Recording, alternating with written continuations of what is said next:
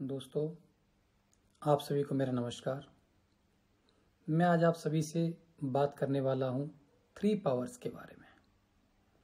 वो तीन शक्तियाँ जिसकी बदौलत हम बहुत बड़ा नेटवर्क बना सकते हैं, बहुत बड़ी रिकॉग्निशन हासिल कर सकते हैं और अपनी मनचाहे सपने पूरे कर सकते हैं। तो कौन से हैं वो थ्री पावर्स नंबर एक पावर ऑफ़ यूनिटी, एकता की शक्ति। नंबर दो, पावर ऑफ़ समेशन, समर्पण की शक्ति।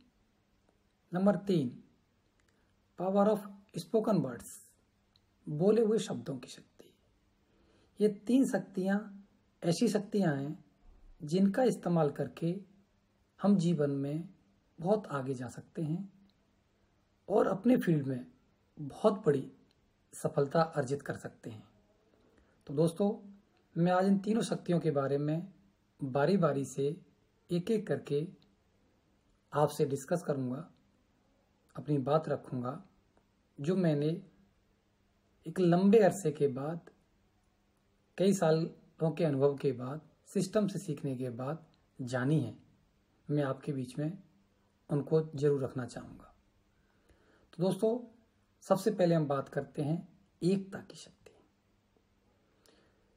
एकता की शक्ति वो शक्ति है जिसका हम यूज़ करके एक बड़ा नेटवर्क बना सकते हैं। चलिए पहले हम एक कहानी के माध्यम से समझने की कोशिश करते हैं। एक बूढ़ा किसान था जो गाँव में रहता था। उसके चार बच्चे थे। चारों बेटे आपस में झगड़ा करते रहते थे। चारों बेटे कोई एक दूसरे की बात मानता नहीं था, कभी भी आपस में बनती नहीं थी। पिताजी उन चारों बच्चों की बातों को देख देख कर हरकतों को देख देख कर बड़े दुखी होते थे, बड़े परेशान होते थे। समय बीतता जा रहा था, पिताजी बुज़ुर्ग होते जा रहे थे। उनको चिंता सताने लगी कि अगर ऐसे ही चलता रहा तो आगे क्या होगा? तो उन्होंने उन चारों बच्चों को समझाने के लिए अपने पास बुलाया। जब अपने पास बुलाया तो पहले उनको एक एक लकड़ी दी गई कि, बेटे, इसको तोड़ के दिखाओ। तो बड़े ही आसानी से चारों बच्चों ने उन एक एक लकड़ी को तोड़ दिया। थोड़ी देर के बाद उन चारों को एक लकड़ियों का बंडल दिया गया। जब बंडल दिया गया तो खूब ताकत लगाने के बावजूद भी वो चारों में से कोई भी एक भी लड़का उस बंडल को नहीं तोड़ पाया। तो पिताजी ने बोला कि आपको कुछ समझ आया?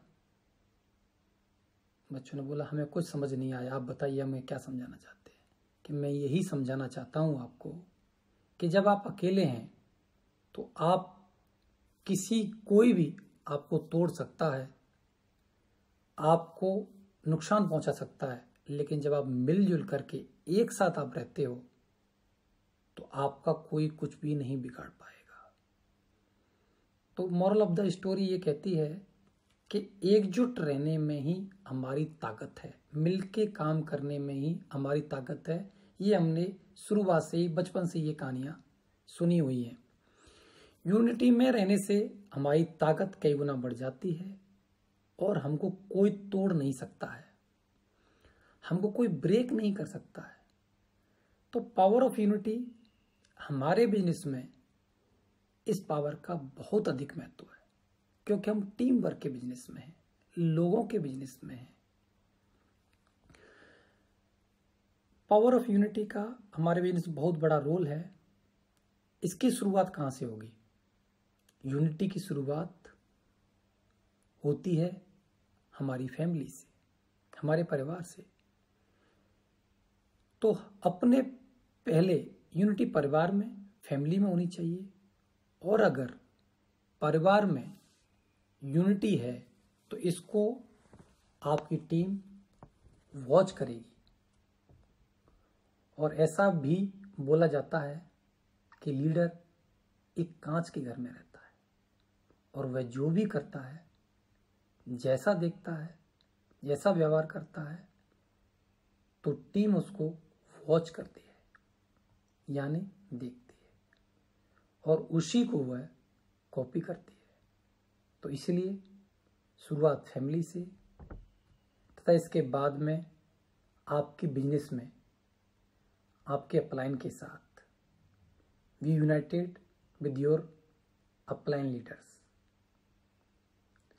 और आप, उसके बाद आप अपनी टीम के साथ यूनिटी बहुत अधिक महत्वपूर्ण है, यानी कि इम्पोर्टेंट है। इसको हम ऐसे समझ सकते हैं जो भी लोग अपने बिज़नेस को बड़ा बनाना चाहते हैं तो वो सबसे पहले अपनी टीम को, अपनी अपलाइन की टीम देखें। क्योंकि मेरी टीम मेरे अपलाइन की टीम भी होती है। और अगर यदि मैं मेरा मेरा मेरा या मेरी टीम मेरी टीम मेरी टीम करके रिज़र्व करता रहूँगा तो उसी को मेरी टीम के लीडर भी दोहराएँगे और वो भी वही करेंगे। मेरी टीम मेरी टीम मेरी टीम। और एक दिन क्या होगा कि टीम में विखंडन शुरू हो जाएगा। तो आप जानते हैं कि एक नाजुक सूत है कपास का। तो जब उससे इकट्ठा कर दिया जाता है तो उसे बहुत अधिक मज़बूत, मोटा रस्से का रूप धारण कर लेता है और उसकी ताकत कई गुना ज़्यादा हो जाती है। इकट्ठे रहने पर और अगर अलग कर दिया जाए तो कोई उसकी ताकत नहीं है और ताकत उसकी खत्म हो जाती है। पावर ऑफ़ यूनिटी अगर आप मिलकर रहते हैं, मिलकर काम करते हैं, परिवार में टीम के साथ, अपने अपलायन के साथ सबसे पहले, क्योंकि जिनके साथ आपको बिज़नेस बड़ा करना है, शुरुआत आपकी, आपके अपलाइन के साथ होती है। और अगर आपकी अपलाइन के साथ में अगर यूनिटी बनाकर काम करते हैं, जोड़ी बनाकर आप काम करते हैं तो आपकी ताकत कई गुना बढ़ जाती है। और इसी काम को आपकी टीम के लीडर भी दोहराते हैं। दोस्तों, आपने देखा होगा कि चीटियाँ बहुत छोटी छोटी होती हैं। बहुत छोटी मामूली सी। देखा जाए तो वो एक अकेली है तो एक छोटे से टुकड़े को भी, एक छोटे से कण को ले जाने में भी वो असमर्थ होती है। लेकिन जब वो चीटियाँ मिल जाती हैं, एक साथ हो जाती हैं, एकजुट हो जाती हैं तो उनकी ताकत कई गुना बढ़ जाती है और वो बड़े से बड़े किसी भी चीज़ के पीस को उठा करके ले जाती हैं, क्योंकि एकता में ही शक्ति है। एकता में ही ताकत है मिल के काम करने में ताकत है। एक बार की बात है, एक किसान गाँव में रहता था, अपनी खेती बाड़ी करता था, अपने खेतों में काम करता था, और जब वो थक जाता था तो एक पेड़ के नीचे आकर के पेड़ की छाव में सो जाया ये बरसों से वो करता चला आ रहा था, लेकिन उसी गाँव में पेड़ों की चोरी होना शुरू हो गई। चोर आए दिन पेड़ काट काट के ले जाते थे तो उसे बड़ी चिंता हुई कि धीरे धीरे करके पेड़ कटते चले जा रहे हैं। एक दिन ये भी पेड़ कट जाएगा। तो उसने क्या किया? थोड़ा सोचा। सोचने के बाद एक खूबसूरत एक अच्छा सा पत्थर एक शिवलिंग की भांति उसको एक पत्थर मिला और वो पत्थर लाके उसने पेड़ के नीचे रख दिया। और उस पर थोड़ा सा हल्दी वल्दी लगा करके टीका वीका करके उसको रख दिया। तो चोर जब आए देखने के लिए तो उन्होंने देखने के बाद जाना कि ये कोई साधारण पत्थर नहीं है। ये तो एक पूजा का स्थल है, जहाँ लोग पूजा करते हैं। ये पवित्र स्थान है और वो वहाँ से चले जाते हैं। धीरे धीरे कुछ लोग आना शुरू होते हैं और उस पत्थर की पूजा होने लगती है, लोग एकत्रित होने लग जाते हैं, रोज पूजा होती है। तो पत्थर ये सोचने लगता है कि मेरी वजह से ये पेड़ सुरक्षित है और इसकी पूजा हो रही है। और पौधा भी, पेड़ भी ये सोचने लग जाता है कि मेरी छाओं की वजह से, मेरी वजह से इसकी पूजा हो रही है। तो एक दिन क्या होता है कि वह पत्थर उठ करके उस स्थान से चला जाता है कि अब मैं देखता हूँ इसका क्या होगा। जब वो जाता है तो जाकर के एक स्थान पर ठहर जाता है। वहाँ से एक मूर्तिकार निकलता है और उस खूबसूरत पत्थर को देख करके वो सोचता है कि ये बहुत खूबसूरत पत्थर है। इसकी बहुत शानदार मूर्ति मैं बनाऊँगा। ये सारी बातें पत्थर सुन रहा होता है कि जब मैं जाता हूँ घर से और औज़ार लेके आता हूँ, इसमें से काट छाट करके इसकी मूर्ति बनाऊँगा। ये बात सुनता है पत्थर तो उसको समझ आती है। और इधर पेड़ भी अकेला जब होता है तो चोर जब आते हैं तो देखते हैं कि अरे, ये तो साधारण पौधा है। यहाँ तो कुछ भी नहीं है। तो वो भी अपने हथियार लेने के लिए, अपने औज़ार लेने के लिए अपने घर जाते हैं। तो पौधे को भी लगा कि नहीं नहीं, मेरी जो सुरक्षा हो रही थी, वो पत्थर की वजह से हो रही थी। और पत्थर भी सोचता है कि मेरी जो सुरक्षा हो रही थी, मैं जो बचा हुआ था, मैं भी पौधे की वजह से बचा बचा हुआ था। तो पत्थर थोड़े समय के बाद वहाँ से चलता है और आकर के दोबारा से उसी पौधे के नीचे बैठ जाता है। जैसे ही चोर आते हैं तो वो देखते हैं, अरे, ये तो है, वहाँ से चले जाते हैं। इस कहानी का आशय यही है कि एकता में ही शक्ति है, मिलजुल के रहने में ही ताकत है। वो दोनों मिलकर के रहे तो दोनों की उसमें भलाई हुई और सेफ़ रहे। दोनों के दोनों बच गए। हमने बहुत सारी कहानियाँ और भी सुनी हैं। मैं एक और कहानी आपके बीच में शेयर करना चाहूँगा। कि एक बूढ़ी औरत झाड़ू लगा रही थी और अपने घर को साफ़ कर रही थी। उसने क्या किया? उसने झाड़ू की रस्सी को खोल दिया। झाड़ू बिखर गया। और उसने क्या किया? उस झाड़ू की एक सीख से, एक सीख से कूड़े को साफ़ करना चाहा। काफ़ी प्रयासों के बावजूद भी कूड़ा साफ़ नहीं हो रहा था, कचरा साफ़ नहीं हो रहा था थोड़ी देर के बाद वह बूढ़ी औरत उन सबको बाँध देती है।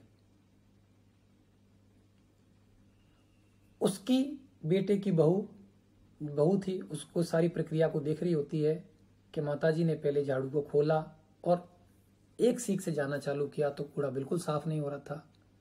और जैसे ही उन्होंने पूरे झाड़ू की सारी सीखों को बाँध दिया तो दोबारा से झाड़ना चालू किया तो सारा कचरा साफ़ हो गया। बहू ने अपनी सास से पूछा कि माता जी बताइए, इसका क्या मतलब है? तो उन्होंने बताया कि इसका मतलब ये है कि इस झाड़ू की जो ताकत है, इन सीखों की जो ताकत है, एक सीख अकेले होकर के एक टुकड़ा भी कचरा नहीं उठा पा रही थी लेकिन ये बंध गई, एक साथ बंध गई तो सारा कचरा हम यहाँ से आसानी से साफ़ किया जा रहा है। इसका मतलब साफ़ है, वो मिलजुल करके रहने में ही ताकत है, संगठन में ही शक्ति है और विघटन में ही कमज़ोरी है, ये वो अपनी बहू को मैसेज देना चाहती थी। तो बखूबी उन्होंने ये मैसेज दिया। दोस्तों, बोला जाता है, जहाँ विभाजन है जहाँ विखराव है, चाहे वह देश हो, चाहे वह गाँव हो, चाहे वह घर हो, चाहे वह परिवार हो, चाहे वह आपकी टीम हो। जहाँ विखराव है, जहाँ विभाजन है, इन सभी जगहों पर वहाँ कभी भी ईश्वर की कृपा नहीं होती। अगर आप उस ईश्वर की कृपा पाना चाहते हैं, उसकी रहमत पाना चाहते हैं तो हम सबको यूनिटी में रहना होगा, क्योंकि एकता में ही शक्ति है और ईश्वर वहीं वास करते हैं जहाँ पर लोग संगठित रहते हैं। तो सो जिस ईश्वर ने हम सबको बनाया है, जब वो ईश्वर ही हम सबके साथ भेदभाव नहीं करता है तो हम क्यों करते हैं? तो हम कौन होते हैं ये सब भेदभाव करने वाले? एक बार सोच के तो देखो। एक बार सोचो दोस्तों।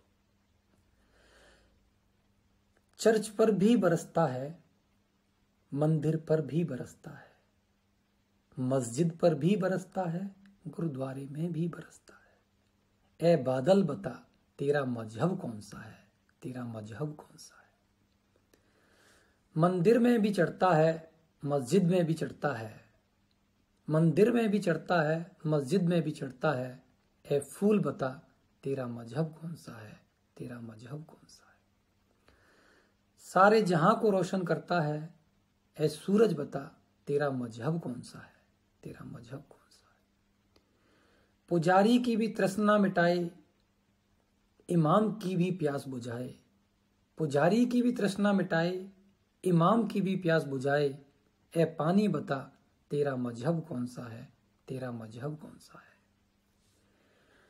मुस्लिम भी तुझ में लीन हो जाते, मुस्लिम तुझ में कब्र बनाते और हिंदू तुझ में जलकर मिट्टी बन जाते। ए मिट्टी बता, तेरा मज़हब कौन सा है? ए मिट्टी बता, तेरा मज़हब कौन सा है?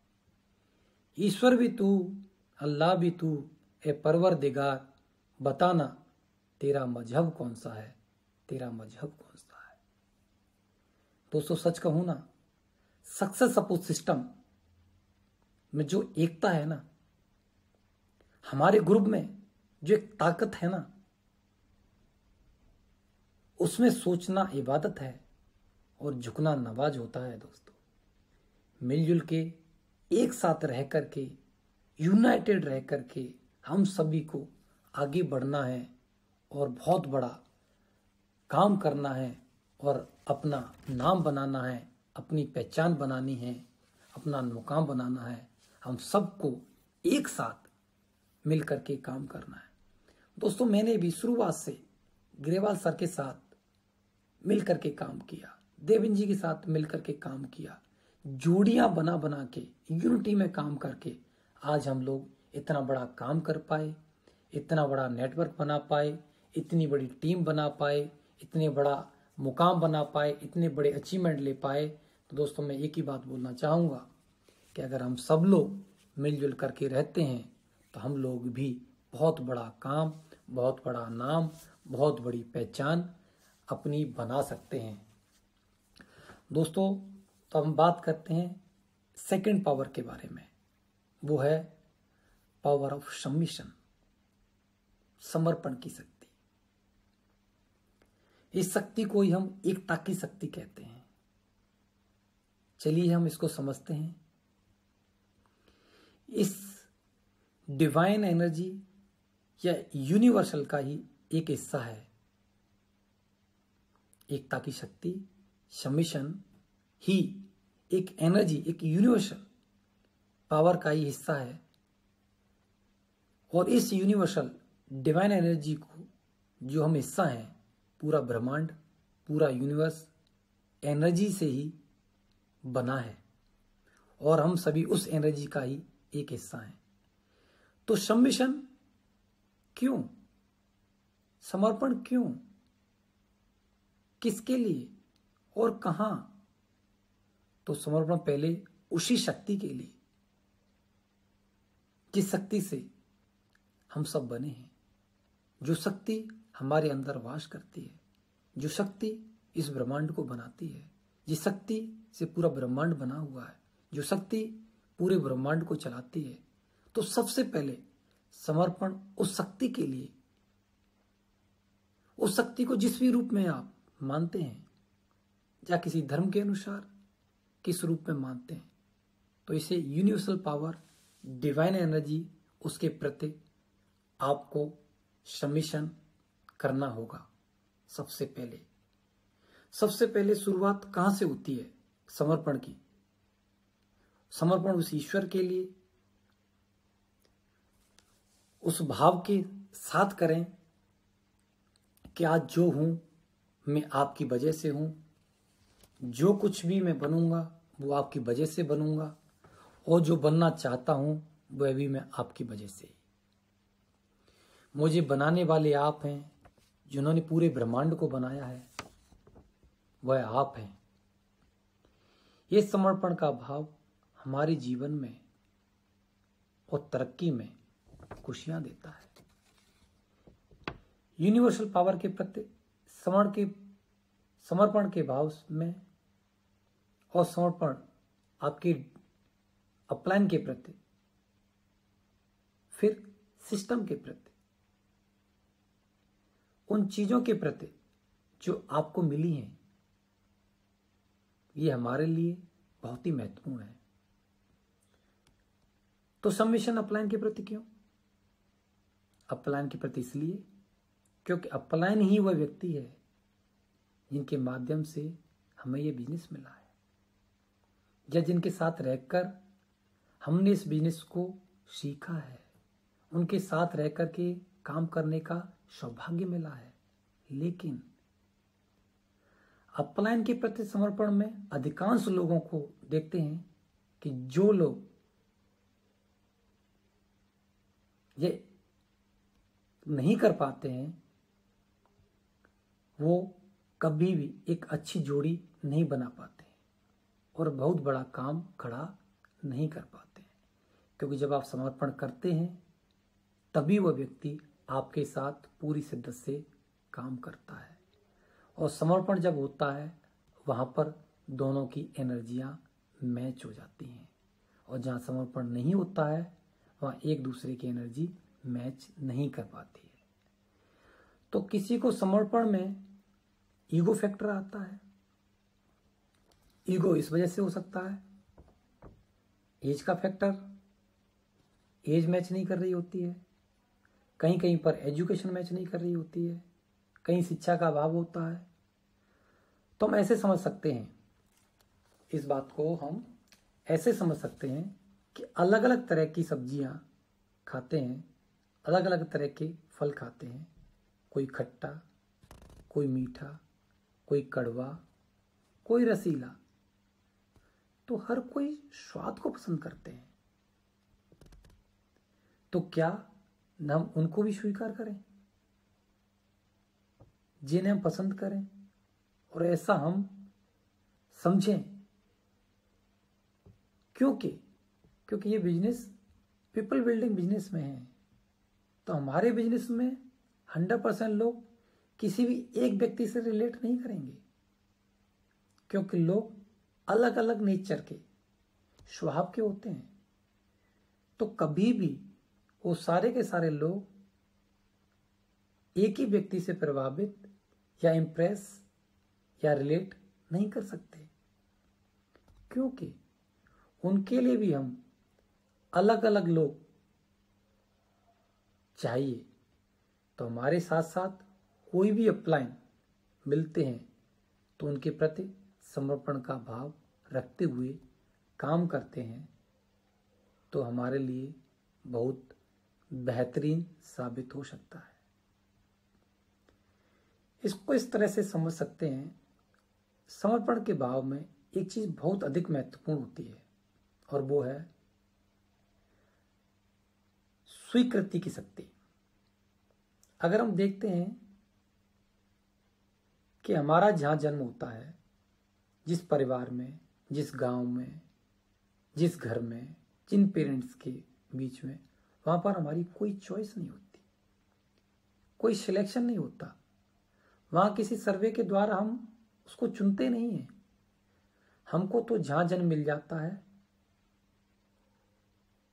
वहीं पर हम रहते हैं। इसमें यूनिवर्सल पावर का ही डिसीज़न होता है। वह हमारा कोई डिसीज़न नहीं होता। हमारे पास कोई चॉइस नहीं होती। ईश्वर के द्वारा या डिवाइन पावर के द्वारा आपको जहाँ जन्म दिया गया। जिस जगह जन्म मिला, उसे आप स्वीकार कर लेते हैं। वहाँ शिक्षा का अभाव हो सकता है, या आर्थिक तंगी हो सकती है, कोई भी अभाव हो सकता है, वहाँ हम कंप्लेंट नहीं करते। हम उसको स्वीकार करते हैं और अपनी ज़िम्मेदारी स्वीकार करते हैं। उस माता पिता का हम, उस माता पिता को हम स्वीकार कर लेते हैं। जीवन में उसके प्रति कभी भी नेगेटिव नहीं सोचते। उनके बारे में बुरा भला नहीं बोलते। क्योंकि उसके पीछे कारण एक ही है, क्योंकि वो हम स्वीकार कर लेते हैं। जबकि हमने चुना नहीं है, बल्कि वो हमें ईश्वर के द्वारा मिले हैं। ठीक इसी प्रकार से जब हमने बिज़नेस करना शुरू किया है। तो कोई रिसर्च नहीं किया, कोई चॉइस नहीं किया सिलेक्ट नहीं किया। जो भी अपलाइन हमें मिले प्लेसमेंट के रूप में, वो गॉड गिफ्ट है। नेचुरल तरीके से मिले हैं। सर्वे करके रिसर्च करके नहीं हमने चुना है। तो जो भी हमको मिले हैं, उनको हमको स्वीकार करना होगा। जैसे भी हैं, आप जो आपको आईडी मिली है, जो आपके प्लेसमेंट मिला है वो ही आपके द्वारा चुनी हुई नहीं है। वो तो प्राप्त हुई है तो आपको स्वीकार करना होगा। ठीक उसी प्रकार से जैसे हम पेरेंट्स को स्वीकार करते हैं, ऐसे ही उस जगह को उन अपलाइनों को स्वीकार करना है। मैंने भी यही किया। और अगर मुझे कहीं कोई कमी दिखाई दी तो मैंने उसे अलग नहीं हुआ। मैंने उसको अपनी ज़िम्मेदारी समझी और उसको पूरा किया। अगर आपको लगता है कि यहाँ आप ज्वाइन हैं या जिनके साथ आप काम करते हैं तो उसके कुछ कमियाँ हैं। तो ऐसे हम जन्म लेते हैं तो परिवार में भी तो कमियाँ होती हैं। आर्थिक संकट, शिक्षा का संकट और कोई भी संकट। साधनों का अभाव, बहुत सारे अभाव होते हैं। वह हम कंप्लेन नहीं करते, हम ज़िम्मेदारी लेते हैं, स्वीकार करते हैं। कि इस घर में मेरा जन्म हुआ है तो अब मैं भी ज़िम्मेदारी स्वीकार करता हूँ और इन कमियों को दूर करूँगा। इसी तरह हम भी ज़िम्मेदारी स्वीकार करते हैं। इनका सहयोग मिलता है कि समर्पण भाव के साथ काम करें और उस ज़िम्मेदारी को स्वीकार करें। और मिलकर उसी जगह पर बहुत ही बेहतरीन काम करें और इतना बड़ा काम करके दिखाएँ कि लोग आने वाले समय में अपना आपका नाम लें, आपके उदाहरण दें, आपके एग्ज़ाम्पल दें। दोस्तों सबमिशन आपको अपने अपलाइन के प्रति रखना होगा। सबमिशन आपको अपनी कंपनी के प्रति रखना होगा। सबमिशन आपको अपने प्रोडक्ट के प्रति रखना होगा। सबमिशन आपको अपनी टीम के लिए रखना होगा। क्योंकि जब तक हम समर्पण नहीं करते हैं सबमिशन नहीं करते हैं, किसी को हम समर्पित नहीं होते हैं, तब तक हमको उसका पूरा लाभ नहीं मिल पाता है। तो चलिए दोस्तों, अब हम बात करते हैं तीसरी पावर के बारे में। वो है पावर ऑफ़ स्पोकन वर्ड्स। तो क्या दोस्तों आपको पता है, जो शब्द हम बोलते हैं, वो एक बीज की तरह होते हैं। वो शब्द नहीं होते वह बीज हैं। क्योंकि इससे बातों की एक उपज होती है।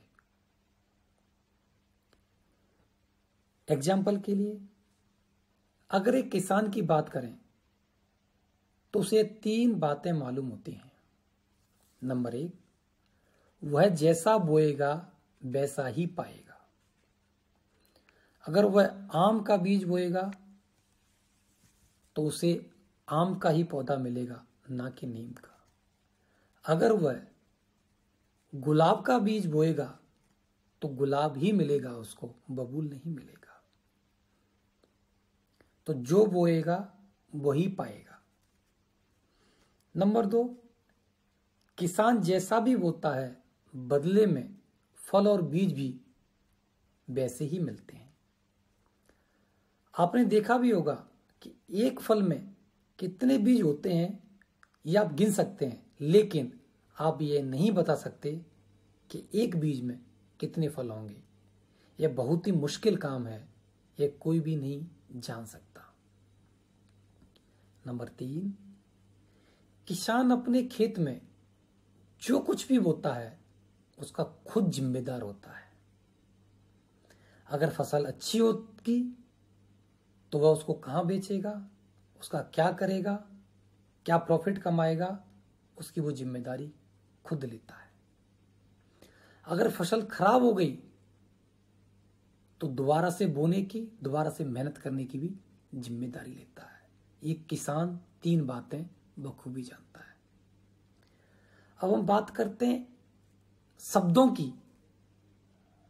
तो अगर आप अच्छे शब्द बोलेंगे तो आपको अच्छे रिज़ल्ट मिलेंगे।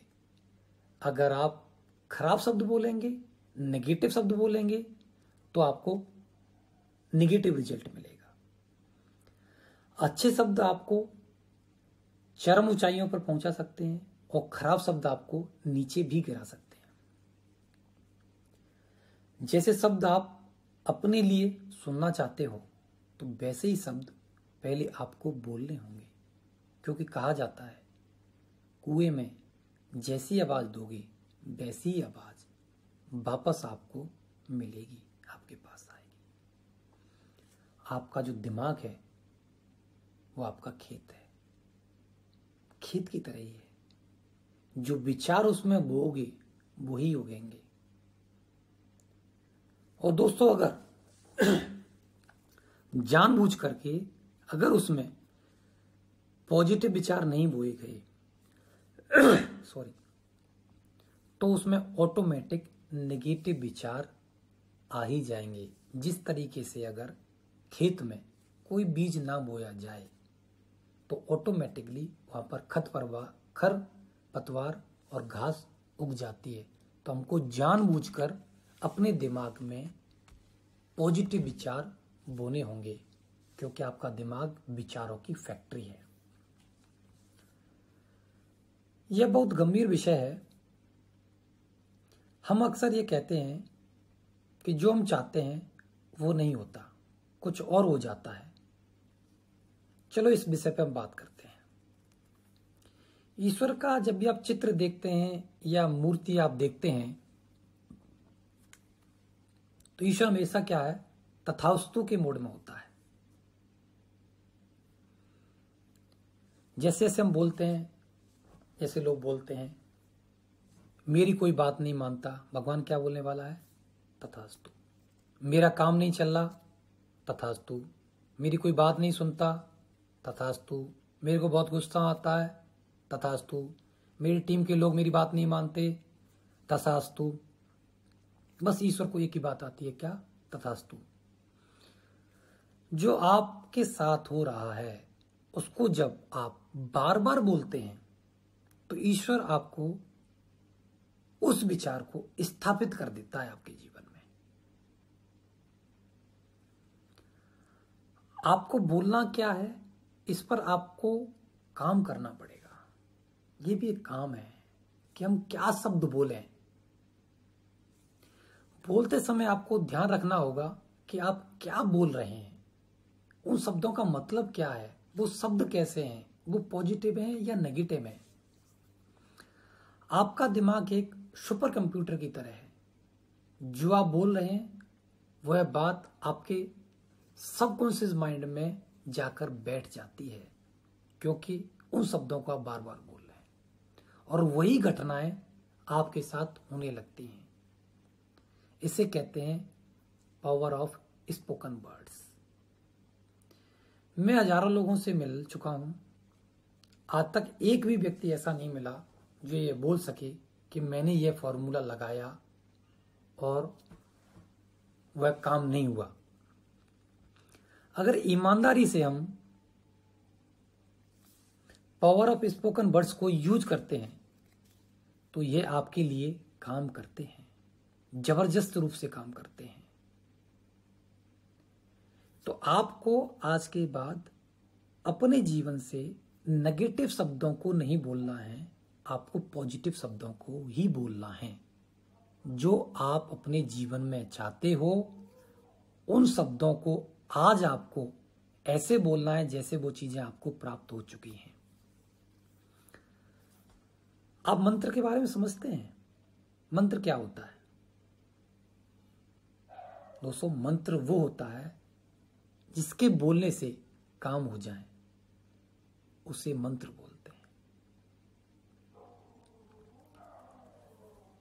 आप कभी रास्ते से जा रहे होते हैं और एक भिखारी आकर आपसे भीख माँगता है और आपसे और उसे आप कुछ नहीं देते और आगे बढ़ जाते हैं।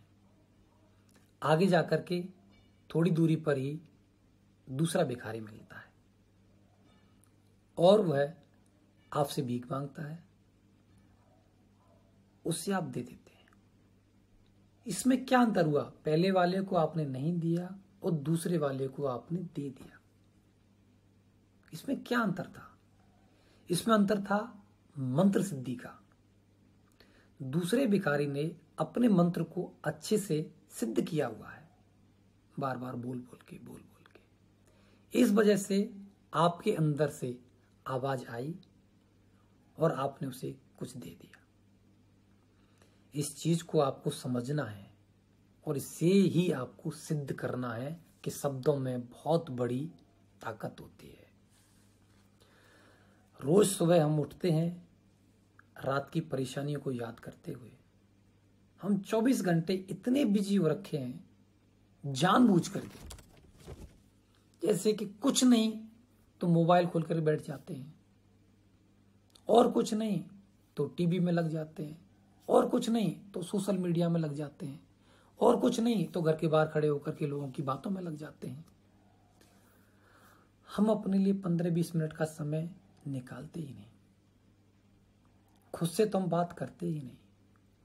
और इसी कारण हमारा, हमारे जीवन से नियंत्रण खत्म होता जा रहा है। हम अपने जीवन से कंट्रोल खोते जा रहे हैं। इसको सुधारने की ज़रूरत है। जो बात मैं आज आपसे कह रहा हूँ, वह बात बहुत गंभीर बात है। आप इस बात को अगले नब्बे दिन तक प्रयोग करें। फिर मुझे बताएँ क्या आपके साथ क्या हुआ? ये सब मैंने अपने ऊपर प्रयोग किया है और बहुत सारी चीज़ों को अपने जीवन में हासिल किया है। आपको वह बोलना है जो आप चाहते हो। आपको वह नहीं बोलना है जो आप नहीं चाहते हो। लेकिन अक्सर करके वही हम बोलते रहते हैं जो हमारे साथ होता रहता है। वो हम कभी नहीं बोलते जो हमको चाहिए होता है। आपके रिश्ते खराब हो, आपके रिश्ते खराब हो रहे हैं, आप अपने रिश्ते बेहतर करना चाहते हैं तो आप बोलो कि मेरे सभी के साथ मधुर रिश्ते हैं। सभी रिश्तेदार मुझसे बहुत प्रेम करते हैं। ये बात मन ही मन बोलनी है और ज़ोर ज़ोर से बोलनी है। आपका काम नहीं चल रहा। आप अपना काम चलाना चाहते हैं। आपको बोलना होगा, मेरा काम बहुत शानदार चल रहा है। मेरा काम बहुत धुआंधार चल रहा है। लगातार काम हो रहा है। लगातार मेरे साथ लोग आ रहे हैं। ये आपको बोलना होगा। आपको लगता है आपके साथ लोग नहीं जुड़ रहे हैं? आप चाहते हैं आपके साथ लोग जुड़े? तो आपको बोलना होगा कि मेरे साथ धुआंधार लोग जुड़ रहे हैं। मेरे साथ रोज लोग जुड़ रहे हैं। मेरे साथ जुड़ने वाले लोगों की लाइन लगी हुई है। मेरी टीम में लोग रोज सैकड़ों की तादाद में जुड़ रहे हैं। मेरी टीम लगातार बढ़ती जा रही है। ये बोलना होगा। आपको लगता है मेरी टीम में अच्छे दमदार लीडर नहीं आ रहे हैं? तो आप चाहते हैं कि आपकी टीम में दमदार लीडर आए? तो आपको बोलना होगा, मेरी टीम में लगातार एक से एक दमदार लीडर आ रहे हैं। दमदार, कर्मठ और कर्मशील लोगों की लाइन लगी हुई है। आपको ये बोलना होगा बार बार बोलना होगा। आपको बोलना होगा, मेरा जीवन तेज़ी से बदल रहा है। मेरा जीवन सुख में हो रहा है। रोज मुझे मेरा सौभाग्य की प्राप्ति हो रही है। वह बोलना है जो सिद्धांत है। मुझे सभी लोग बहुत चाहते हैं। मेरी इनकम निरंतर बढ़ती जा रही है। और दोस्तों, आप एक पेपर पे एक प्रेयर बना लीजिए। लिख लीजिए एक पेपर के ऊपर। जो जो आप चीज़ें चाहते हो, एक तरफ़ जो जो आपकी समस्याएँ हैं, उनको लिख लीजिए और उसका पॉजिटिव, उसका सकारात्मक जो चीज़ें से आप समस्याओं से छुटकारा पाना चाहते हो, उन चीज़ों को लिख लीजिए।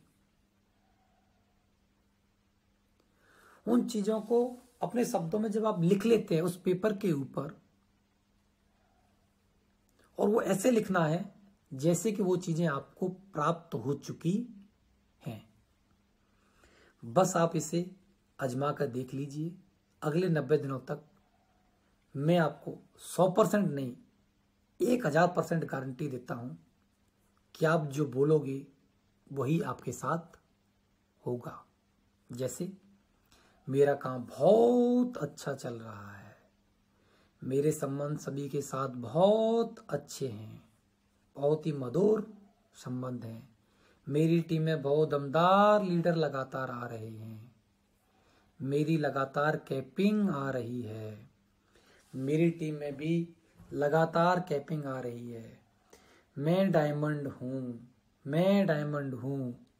मैं और मेरी टीम लगातार टारगेट जीत रही है।